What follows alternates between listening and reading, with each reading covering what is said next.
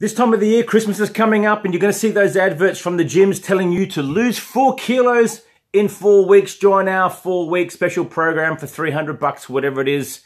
And if that works for you, then great, good for you. But here's what's probably going to happen you're going to go from zero, doing nothing, to hero and doing everything really fast.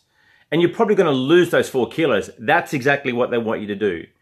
The kicker is this you're going to lose two things. One, you're going to lose a lot of water because you're probably not going to hydrate properly in the first place and you probably haven't been hydrating properly anyway. So you're going to lose a stack of water because water weight makes a difference. And if you're not eating right, you're retaining a lot of that anyway, but that's a different story. And then you're probably going to lose muscle.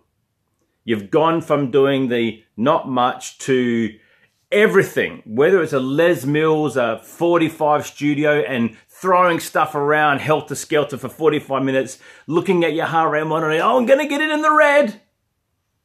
And you're going to do that.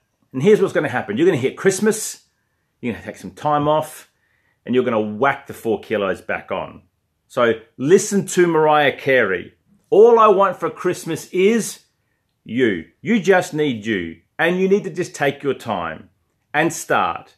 Maybe it's 10 minutes today, 10 minutes tomorrow, but you'll get your four kilos at your pace.